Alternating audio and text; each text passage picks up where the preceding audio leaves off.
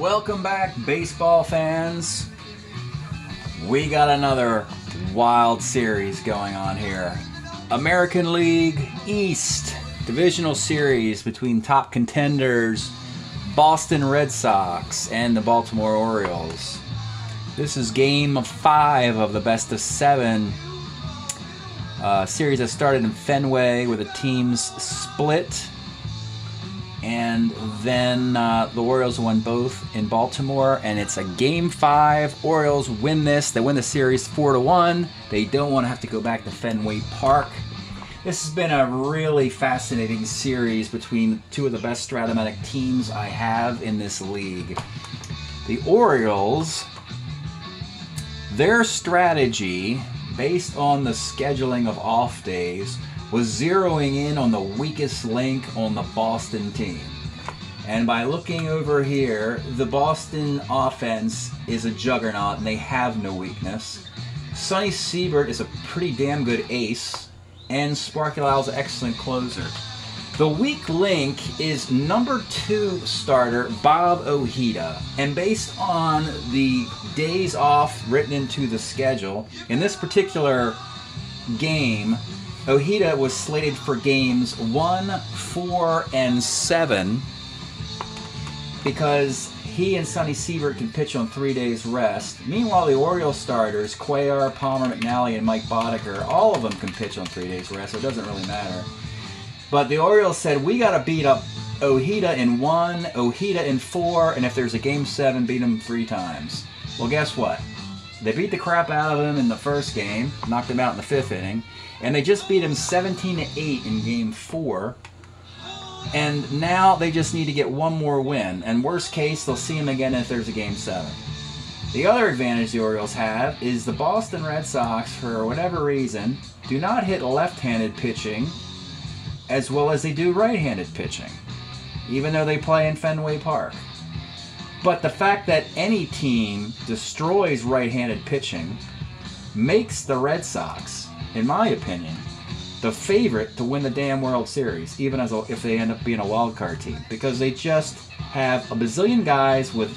Yastrzemski has 40 homers, Petrocelli has 40 homers, Reggie Smith 26, Conigliaro 36, Tony Armas 43, Dave Kingman 36.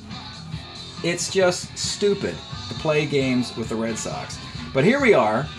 We are in game five.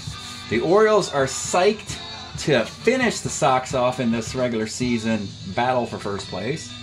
And it is, unfortunately for the Red Sox, they have to go with their number four starter, Mark Thurmond. The Orioles send one of their Cy Young Award winners, Jim Palmer.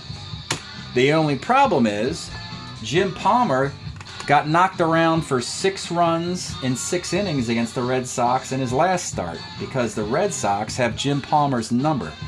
So, that's the battle here. Can the Red Sox beat up on Jim Palmer for a second time to send this series back to Fenway Park? So there's your uh, pregame analysis between two of the greatest teams in Strat-O-Matic, the Boston Red Sox and the Baltimore Orioles. Here we go. Let's get started with Carl Yastrzemski, the leadoff man.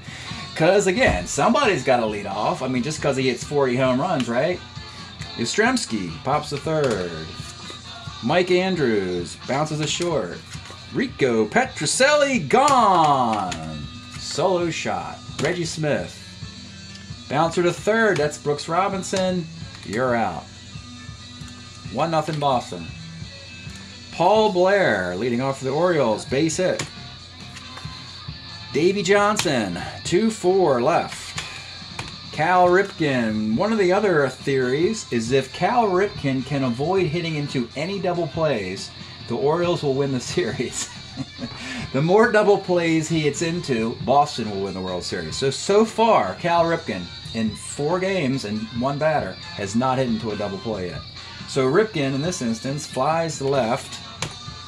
Yastrzemski, who's a 1E16, which is ignorant that Strat-O-Matic would do that. There's an error. I mean, come on, man. It's Carl Yastrzemski. I mean, so what if he made a lot of errors? Make him an E10 or something. They made him an E16. That's two base error. Second and third with one out for Frank Robinson, and Frank Robinson with a base hit in the right field. Now, you're thinking, oh, let's score the guy from second. Um, no, because all the arms on the Red Sox are ridiculous. Yastrzemski's got a minus three arm in left. Armas minus four in center. Reggie Smith minus four in right. It's insane. You cannot score off that outfield. So Robinson will just get one RBI. Ripken has to hold up a third. And you have runners on the corners, one out for Boog Powell. Boog Powell, right field X. We need an error. He's a 2E16. Another error on another Boston outfielder. this is a weird team. I'm, every time I get a Red Sox game, they're usually down five or six runs and they come back and win. So it's second and third with one out. Eddie Murray bounces a short. That will score a run. Everything's unearned. And with two outs, Brooks Robinson walks. And Rick Dempsey, holy crap, one of the three stooges. Rick Dempsey, we know he was the MVP of the 83 World Series, but in 1984 he had 11 home runs and 330 at bats. That is a three run bomb. Nothing's earned. And the Orioles bat around and are plate six so far. It's Buford. Rolls a second. All right, the Red Sox got the Orioles right where they want them in a 1 6 deficit. This is where Boston thrives. So here comes Tony Armas in the second inning. He strikes out. Kingman, catcher's card. Uh, Dempsey's a 1. Wade Boggs, 3 6, single 118, base hit. George Scott, 46, flies the left. Palmer gets through an inning unscathed. Here's Paul Blair again. Rolls a short. Davey Johnson walks. Cal Ripken, left X, no double play. Yastrzemski, a 1E16, no error this time. And Frank Robinson, double one to four, double. You have second and third, two outs for, hey, you're Boog Powell. And he strikes out. All right, uh, we're in the third. Jerry Moses strikes out. Yastrzemski, 1 7. Uh, Homer, 1 2 10, gone. 6 2. Mike Andrews, 64. Homer, 1 to 14. Gone. 6 to 3. Rico Petrocelli rolls a short. And with two outs, Reggie Smith. Single 1 to 9 lines out. Yeah, Palmer's given up three runs in three innings. That's about right. He keeps his ERA of 9 continuing. He's given up nine runs in nine innings in the series. Eddie Murray, catcher's card. Jerry Moses is a 4E10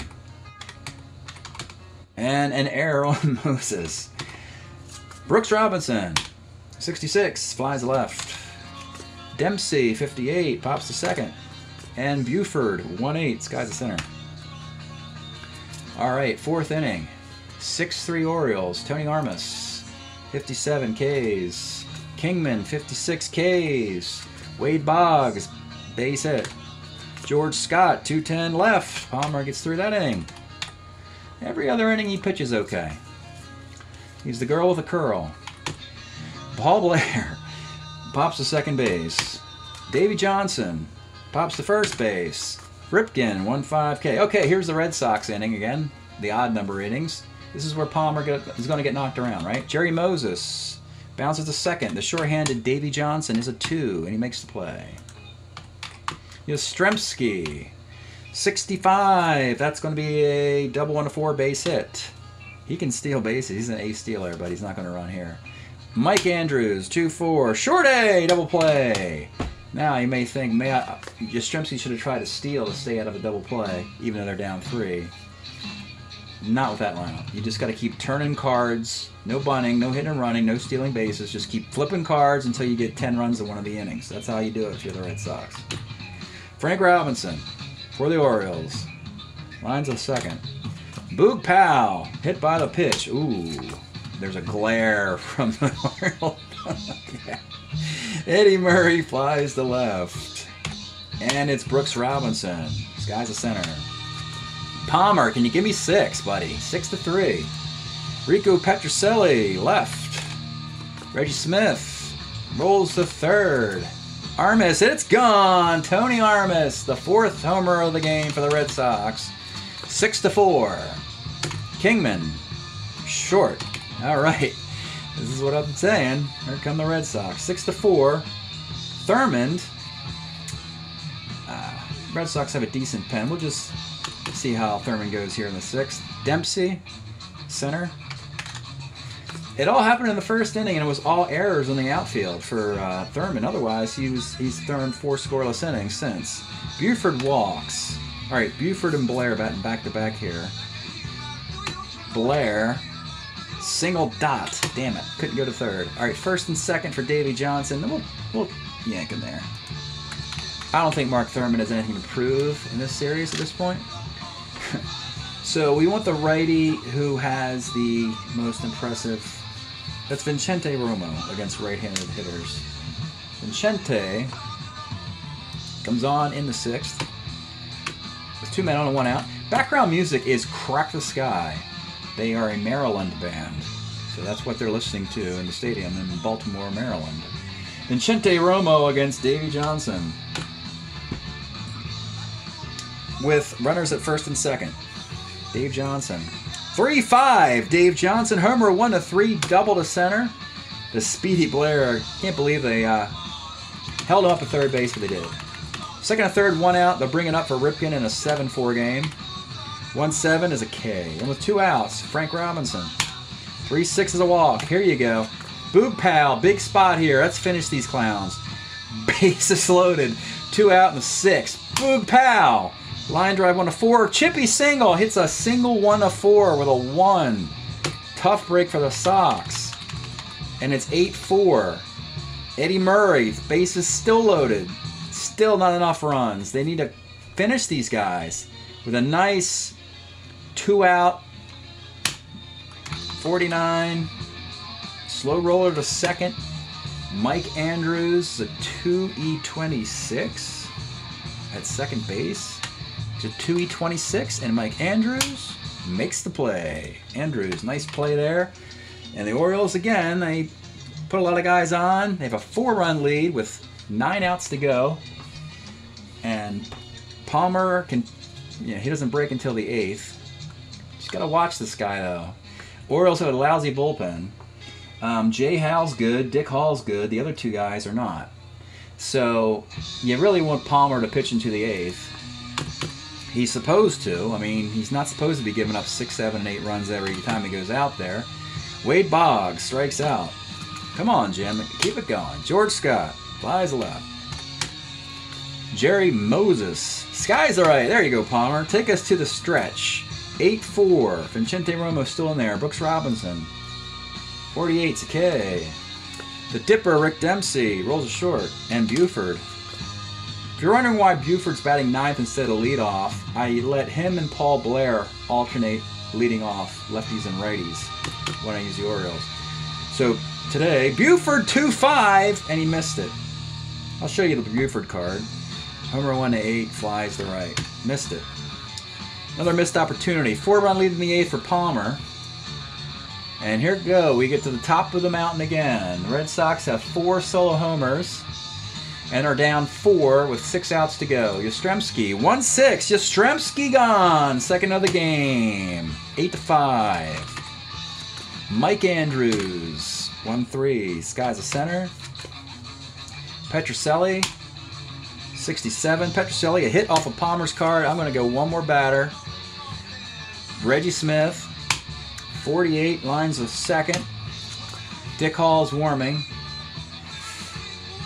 And you know what? I'm just here. So we're gonna do here. We're gonna yank Palmer after seven and two thirds because Armas just crushes homers against righties. He doesn't do that that badly against lefties.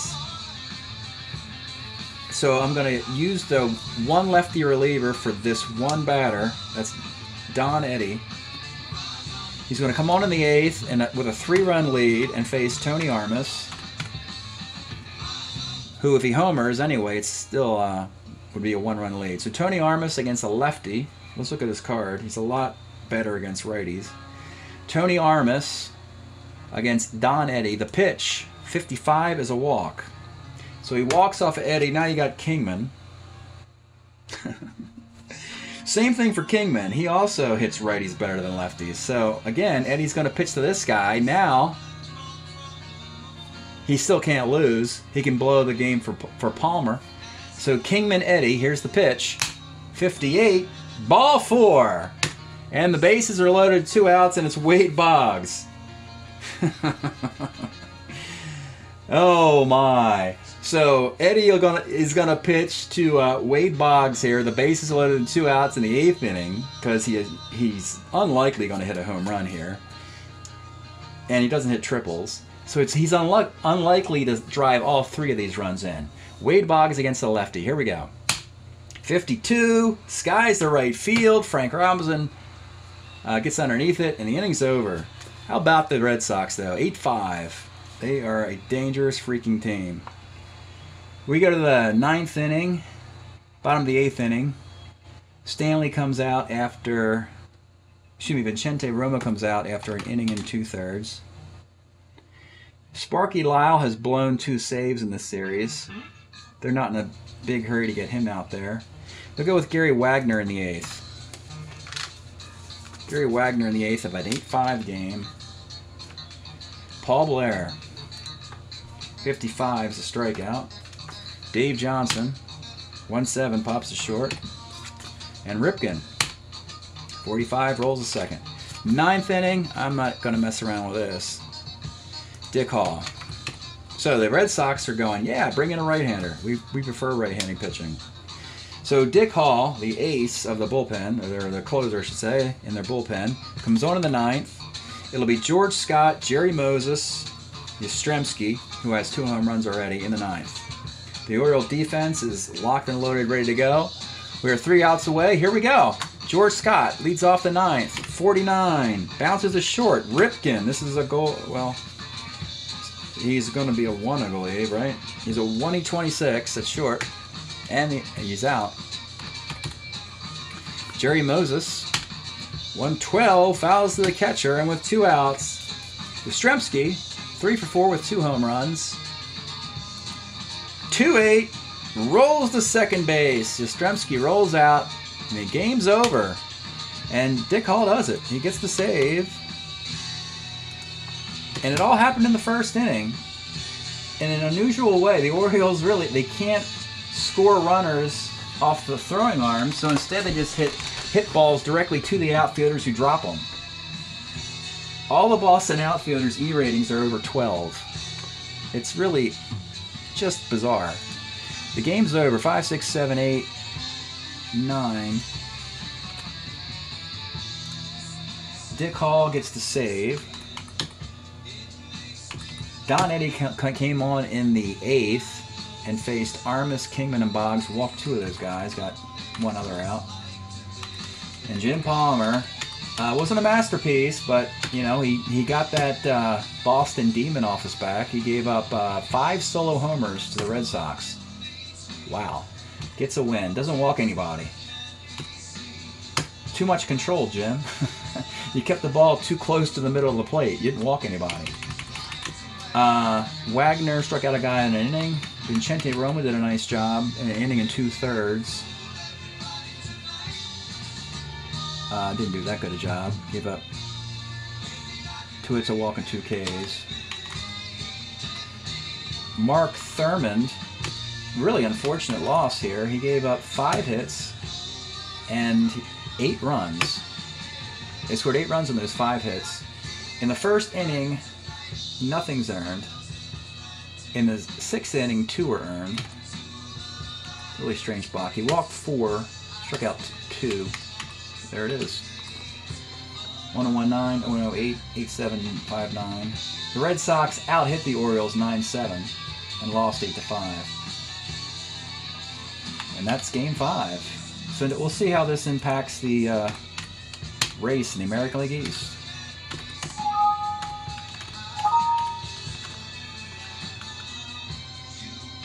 So that was a big win for the Orioles because they went up three games just in that series by winning four games to one. That's a plus three game swing in the, in the overall standings.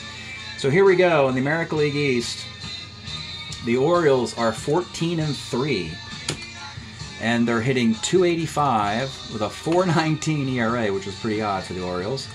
And Boston, because they did not able to come back and force a game six or seven, are stuck at nine and eight. Uh, the Red Sox are hitting 283 with a 484 ERA, and the Yankees are seven and eight. So right now the Orioles have a nice little cushion in the American League East. But if the Red Sox get into the playoffs, watch out. That's it tonight from Baltimore and the American League East. Hope you've enjoyed it. We'll catch up with you again soon.